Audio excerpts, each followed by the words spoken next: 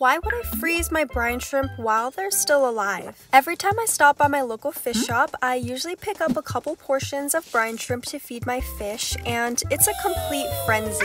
For the first day, I feed them to my fish alive, which is amazing because I get to see the guppies' inner hunters unleash, plus they're super nutritious. But after all the fish are full, I still have a ton of shrimp left, which made me realize they have a fatal flaw. The longer they're left out, the lower their protein content becomes, so I freeze them alive to preserve their nutrients. There's a time in the brine shrimp's life cycle when the nutrients are at their peak, so freezing them locks in the nutritional value and allows me to feed the fish shrimp for weeks.